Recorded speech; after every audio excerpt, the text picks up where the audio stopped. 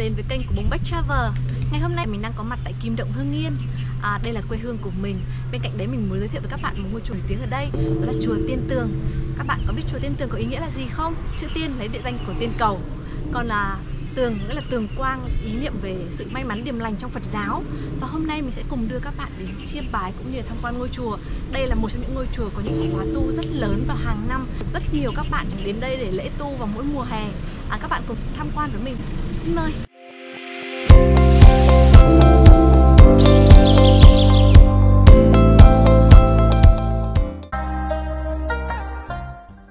Nằm cách thủ đô Hà Nội khoảng 50 km về phía nam, chùa Tiên Tường thuộc địa phận thôn Tiên Cầu, xã Hiệp Cường, huyện Kim Động, tỉnh Hưng Yên, do Đại Đức Thích Tuệ Viên làm trụ trì.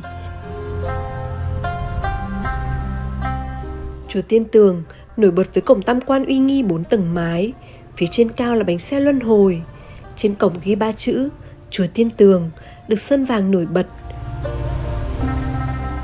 Chú ngụ ngay cổng tam quan này là rất nhiều những chú chim bồ câu, chim sẻ.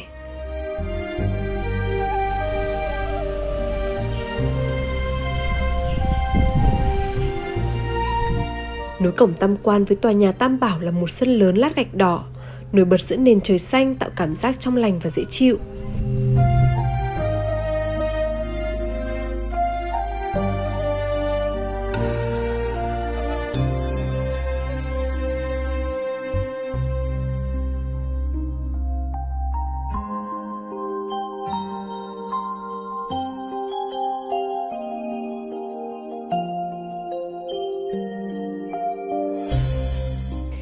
Giữa sân là tượng Phật Di Lặc với tạo tác nụ cười viên mãn, đang chơi đùa cùng những đứa trẻ được điêu khắc từ một tảng đá nguyên khối.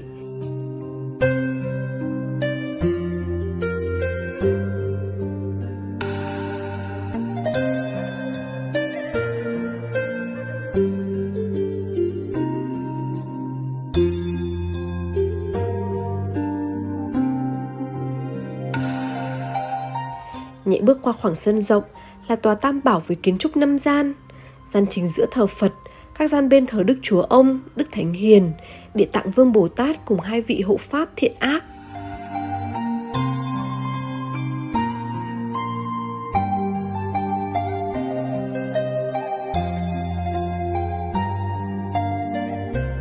Chùa đã có từ lâu đời, được xây dựng từ thế kỷ 18 đời vua Lê Hiến Tông do cụ Vũ Đình Trác, thái phó đại tư đồ xây dựng Trải qua ba cuộc chiến tranh và những năm thăng trầm của lịch sử, chùa đã không còn hình dáng như xưa mà chỉ còn nền trơ vườn trống.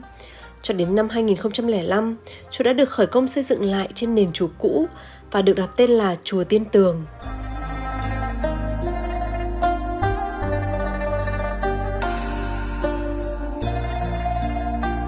Cho đến thời điểm hiện tại, chùa Tiên Tường đã trở thành điểm thu hút du khách thập phương đến chiêm bái lễ Phật – Đồng thời, tại chùa có nhiều hoạt động Phật sự quan trọng cũng được diễn ra, giúp mang Phật Pháp đến gần hơn với mọi người.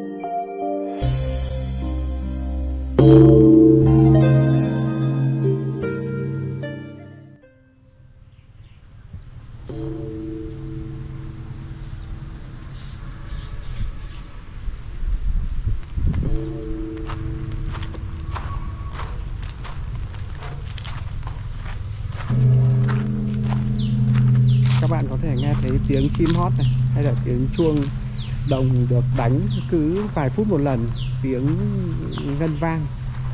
Nghe làm cho người ta khi bước vào chùa tiên tường cảm thấy uh, an bình nhẹ nhàng và thanh thản. Còn đây là lầu ờ, Phật bà ở ngoài trời các bạn nhé. Đây là đấy, lầu gồm có hai tầng mái ở bên trong thờ tượng Phật bà bằng đá trắng. Khung cảnh thực sự làm cho mình cảm thấy không gian nhẹ nhàng yên tĩnh. À, có những sự ờ, cảm giác như là mình mình mình đang lạc vào một cái nơi rất là bình yên các bạn ạ. Phong lan mọc trên những cái cây lâu năm ở đây phía này là một cái hồ nước các bạn nhé.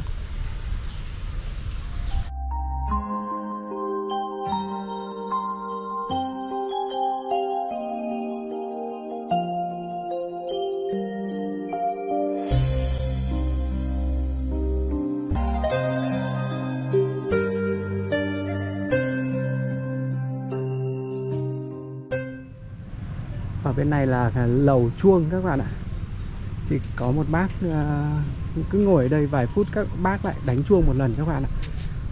Ban đầu thì mình nghĩ rằng là do tiếng chuông tự động sau vài phút đánh nhưng mà thực ra không phải đâu. Bây giờ mình đi ra đây thì mới thấy bác ngồi đây cứ vài phút bác lại đánh chuông một lần. Ồ ở đây có cái quả gì mà nó giống quả bưởi lắm các bạn này quả bưởi lắm nhưng mà mình mình thì mình không biết đây là quả gì đâu các bạn nhé nếu mà ai bạn nào có biết đây là quả gì thì comment ở dưới cho mình biết là quả gì với nhá. Cảm ơn các bạn rất nhiều. Đây là lầu chuông này. Một quả chu chuông đồng rất là lớn được để trên một cái kệ gỗ. Con chào bác ạ. Vâng, bác ơi ở đây bác là cứ mấy phút bác lại đánh chuông một lần à? Phút một lần. à một phút một lần ồ thế là mình đánh bao nhiêu lâu mình sẽ đánh bao nhiêu lâu trong ngày bác Sáng thì à, từ à, 7 rưỡi đến 9 giờ. à thế Chiều chiều từ 2 giờ đến 3 rưỡi. à cứ một một lần rưỡi.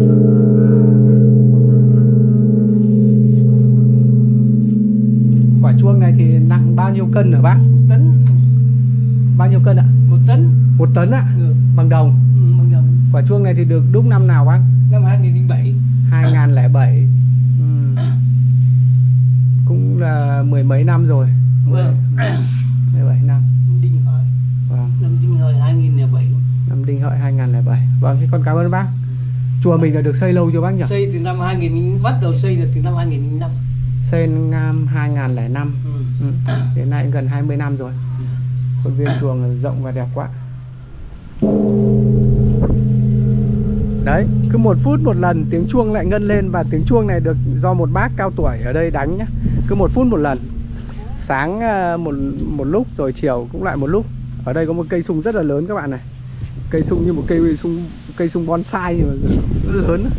À, có nhiều góc này bạn bông bạn đang ngồi à, đánh đu ở trên này. Có rất nhiều góc trong chùa khá là là chill để cho các bạn có thể chụp ảnh. Đây là phía sau chùa các bạn ạ ở phía sau chùa thì ờ, có một ờ, khu vực tháp mộ các bạn nhé.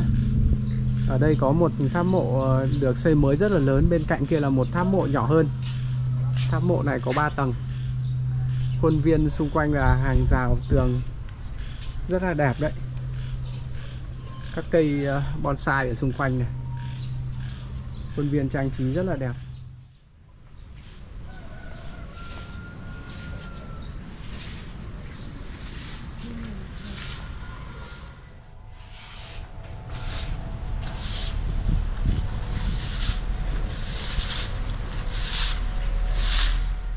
Hình ảnh các bạn đang xem là nhà thờ tổ, bên cạnh đó là thờ mẫu, thờ Đức Thánh Trần và một gian thờ Bác Hồ.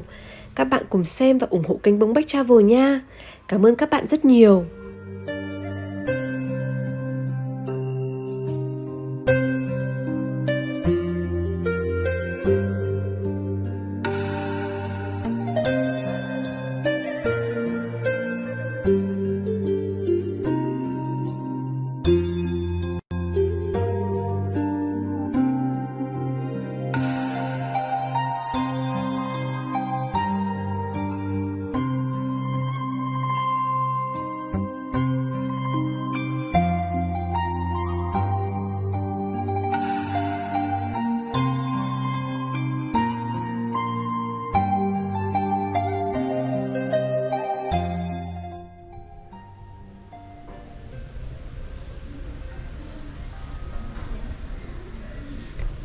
trà An Đường.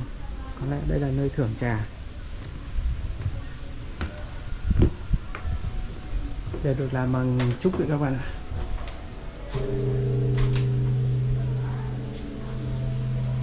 À, trụ trì của chùa là thượng tọa thích tuệ viên phó trụ trì là đại đức thích tâm thiên.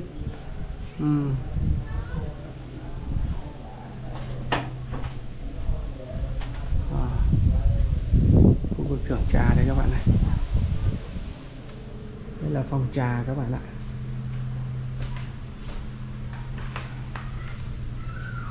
Tất cả căn phòng này đều được làm bằng trúc hết.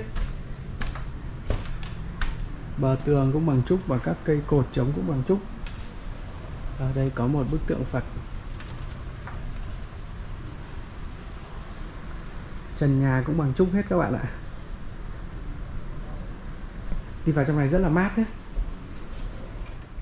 chùa thì cũng có các khóa tu cho các bạn trẻ vì đây là cái khu vực mà các bạn trẻ à, đi học các lớp về Phật giáo này.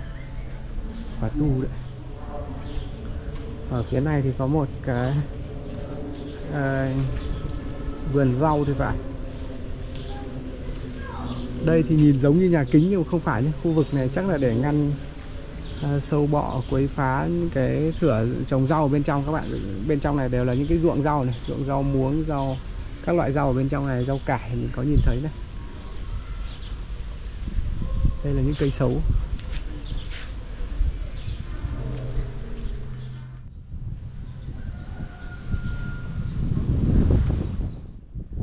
Phía sau của ờ, nhà Tam Bảo chùa Tiên Tường là một cái khu khoảng khu vực rất là lớn khoảng sân rất là rộng các bạn có thể nhìn thấy ở trên video clip. À, đây là một à, tòa nhà có 3 tầng mái. À, rất là lớn nhưng mình nghĩ là công trình vẫn chưa hoàn thành bởi vì vẫn à, chưa chưa chưa sơn đấy các bạn ạ. Mình cùng đi vào bên trong nhé đây này. dấu ấn của việc công trình chưa hoàn thành là ở phía này vẫn có những cái kiến trúc chưa được hoàn thiện bậc à, bằng đá xanh nền nhà bằng gạch rất là sạch. Đi bên trong này thì không gian thật là mát đấy các bạn. Đây các bạn có thể để ý là ừ, hầu như là chưa có cửa đâu. Trong này mát quá thực sự mát. A di đà phật. Ừ. trong này thì có ba bức tượng là phật. À, theo mình à, được biết thì đó là à, bên trong này trên tầng 2 của tòa nhà này thì cũng uh, mọi thứ vẫn chưa hoàn thiện. Dường như đây là một công trình uh, vẫn còn dang dở dang dở rất nhiều các bạn Ui, ở dưới đây là rất nhiều những cái vết bẩn à, do chim làm tổ khá nhiều phía bên này. Đấy các bạn có thể nhìn nghe thấy tiếng chim hay tiếng chim bay trên này mình nghĩ trên này có rất nhiều tổ chim ở ngay đây thì là bức một bức tượng Phật đang cầm một ờ, bông hoa sen. Bây giờ mình sẽ thử chạm vào bức tượng xem là bức tượng bằng bằng đồng hay bằng gỗ các bạn nhé.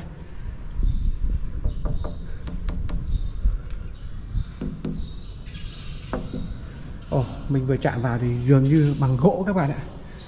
Một khối gỗ rất là lớn để đúc được bức tượng đẹp như thế này. Đây thực sự là một công trình còn dang dở. Đáng tiếc khi chưa được hoàn thiện.